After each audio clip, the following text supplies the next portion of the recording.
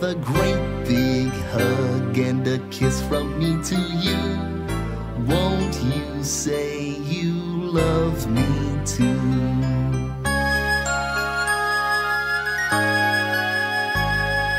I love you, you love me.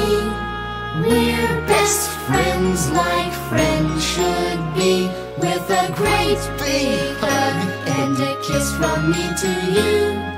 Won't you say you love me too?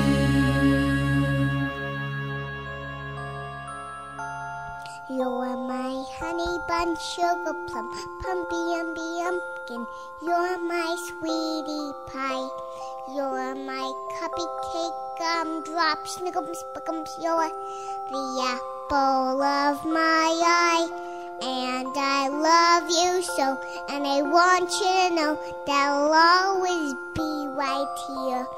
And I love to sing two songs to you because you are so dear.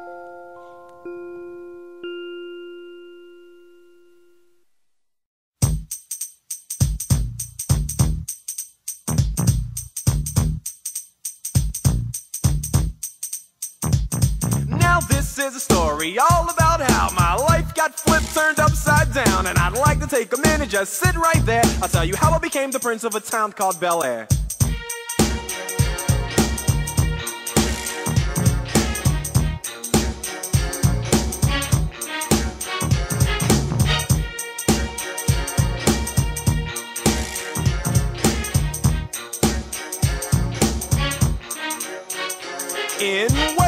Philadelphia, born and raised on the playground is where I spent most of my days. Chilling out, maxing, relaxing, all cool and all shooting some b-ball outside of the school. When a couple of guys who were up to no good started making trouble in my neighborhood. I got in one little fight and my mom got scared and said, "You're moving with your auntie and uncle in Bel Air." I begged and pleaded with her day after day, but she packed my suitcase and sent me on my way. She gave me a kiss and then she gave me my ticket. I put my Walkman on and said I might as well kick it.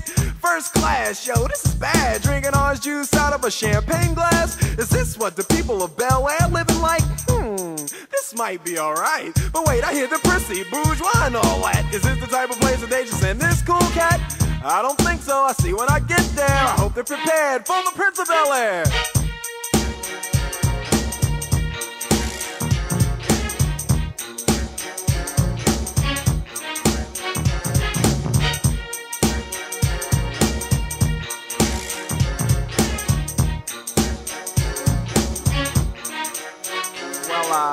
The plane landed, and when I came out, there was a dude look like a cop standing there with my name out. I ain't trying to get arrested yet, I just got here. I sprang with the quickness like lightning disappeared. I whistled for a cab, and when it came near, the license plate said fresh and it had dice in the mirror.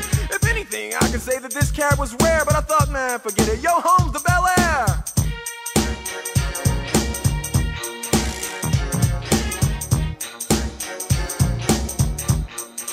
I pulled up to the house about seven or eight, and I yelled to the cabbie, "Yo, home, smell you later."